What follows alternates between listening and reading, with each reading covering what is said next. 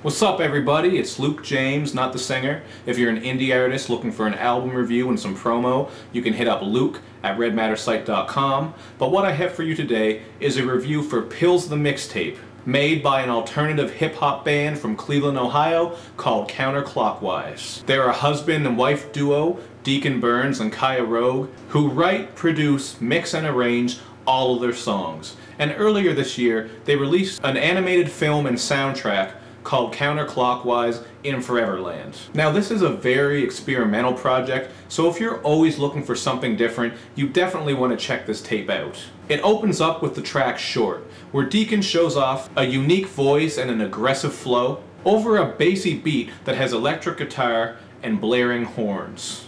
After that, on Drug Dealer, Deacon vividly tells the tale of a pusher who ain't bout shit cause he ain't got shit on a hard-ass drum beat that sounds like something Ice-T would have gotten on in the late 80s. Unload comes next, and on here Deacon drops a lively sing-songy flow over some mariachi horns and cartoonish pizzicato strings. As he spits that music is meant to uplift, not just get tricks and rings and chains and whips. Although he doesn't shun that because that's a part of the game too.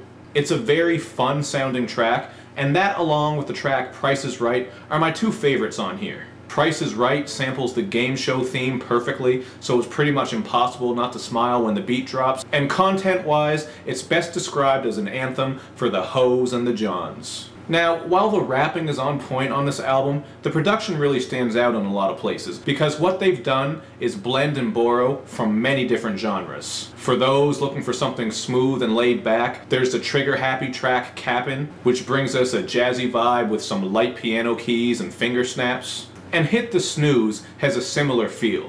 On the flip side, Cigarette Burns and I Don't Give a Fuck both have a very cool industrial type of sound. And it's this varied production throughout the tape that makes it so interesting, because it's not monotonous to listen to, and Deacon can hang on all these styles. Kaya also throws in some light background vocals from time to time, and it's a nice added touch. Other tracks on this tape include The Rent, where Deacon spits that relationships ain't nothing but a gimmick with a budget, over top of a more commercial sounding beat.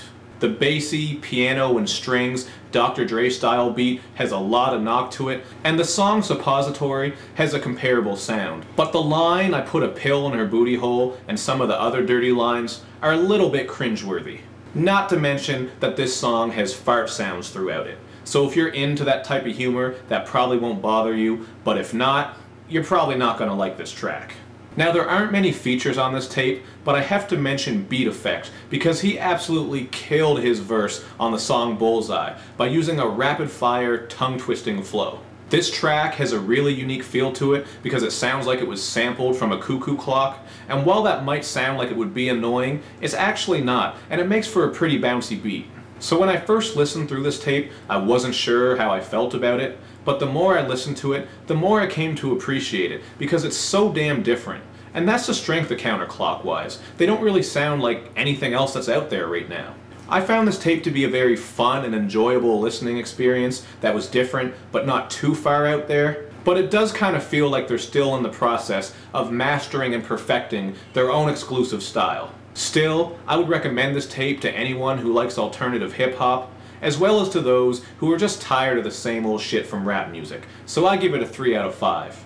That's just what I thought about this tape. Make sure you check out the information underneath this video so that you can find Kounterclockwise, hear their music, and watch their videos. As usual, do all that good YouTube and social media stuff where you like, you share, you comment, and you especially subscribe to my channel, and I'll see you guys next time.